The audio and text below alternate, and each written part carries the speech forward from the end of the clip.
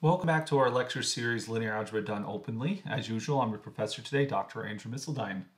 Uh, in this video, we're going to start section 2.7 entitled Bases, which is the plural form for basis, uh, which a basis, as it's defined for a vector space, uh, we see right here in definition 271, a basis B of some subspace of Fn uh, is a linearly independent spanning set of W. So a basis is two things. It has to be linearly independent and it has to be a spanning set. Uh, the importance of linear independence will be a little bit more clear in the next section, 2.8, uh, but in particular it will be a spanning set that's independent.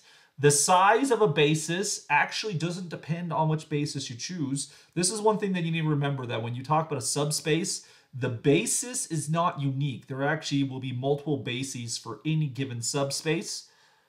But one thing that will be constant is that the size of every basis will be the same, the number of vectors. If this subspace requires three vectors to form a basis, then every basis will contain three vectors. And because that number is uniquely determined, we call it the dimension of the subspace and denote it as DIMW.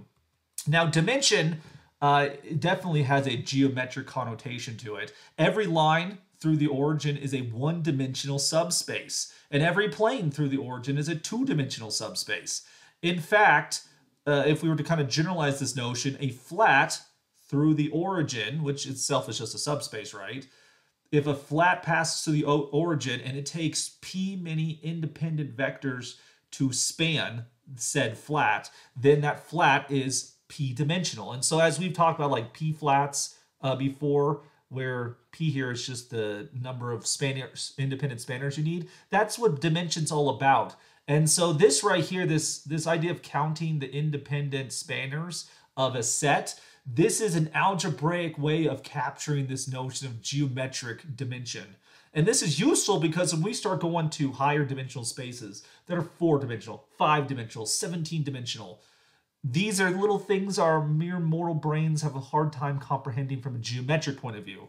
But from an algebraic point of view, nothing is lost whatsoever when we start counting the sizes of these subsets, of these bases. And so that's what dimension's all about.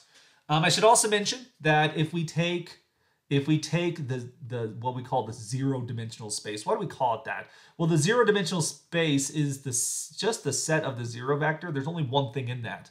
Now, I claim that this is the span of nothing, right? And why is that? Well, when we the way we define a span, the span always contains the zero vector. So even if there's no spanners inside of here whatsoever, every span contains the zero vector. So if I span nothing, I get zero, which, you know, zero is nothing to begin with in the first place, right? And notice when you look at F0, there's only two possible subsets. Uh, there's the empty set itself, and then there's this the set that contains the zero vector, which is f0 it, itself, right?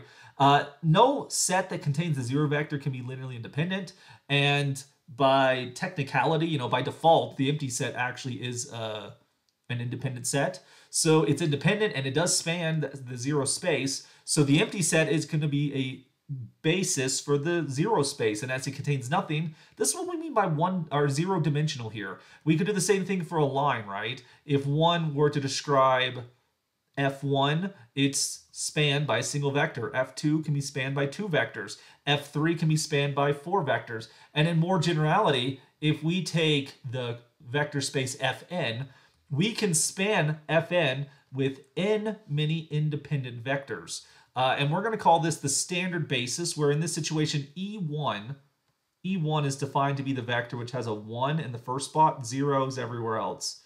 E2 is the vector whose second entry would be 0, but it has zeros everywhere else. E3 is the vector whose third entry is 1, and everywhere else is zeros. I, I, don't know if I said that correctly, right? So E1 has a 1 in the first spot, zeros everywhere else. E2 has a 1 in the second spot, zeros everywhere else. E3 has a 1 in the third spot, zeros everywhere else. So in general, EI is that vector which has a 1 in the ith spot and then zeros everywhere else.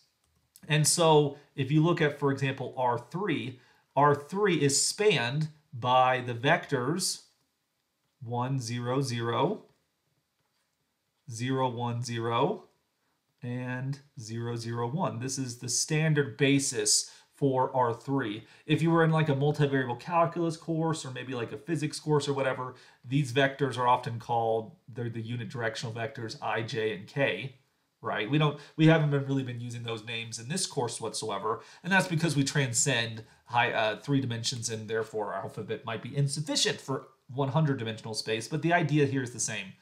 If we take these vectors with a thing with a single one and zeros everywhere else, uh, we'll call their collection capital E, and this is what we refer to as the standard basis for Fn. But like I mentioned earlier, that's not the only basis for Fn. There are multiple bases, and so consider the following. Take this basis B, uh, which contains the vector 1, 0, 0, which admittedly, this vector right here is just E1. Then you have 1, 1, 0, which that's actually just E1 plus E2. And then the third vector is actually E1 plus E2 plus E3, uh, 1, 1, 1. And so this is not the standard basis. It has vectors in it other than the e's, but it is still a basis. Some things to mention here is that if you thought this set of matrices, if you saw this, if this set of vectors could be made into a matrix, right? And then the echelon, it's in echelon form already, right? You can see the pivots has that downward case here. And so we can see that this set is in fact linearly independent. And one thing I want you to notice here is that if you have if you have an independent set that's the size of the dimension, then it's automatically going to be a basis. Uh, so in other words, like this maximal independent set. Because uh, we've learned that if you add too many vectors, you automatically lose independence. If I added a fourth vector here, you would have to be linearly dependent. There's something magical about this basis, this idea of dimension. Uh, the basis, a few things I want to mention here. A basis, it's, of course, a linearly independent spanning set. That's how we define it. But one could also prove the following. We also have that a basis is a maximal, it's a maximal linear independent set.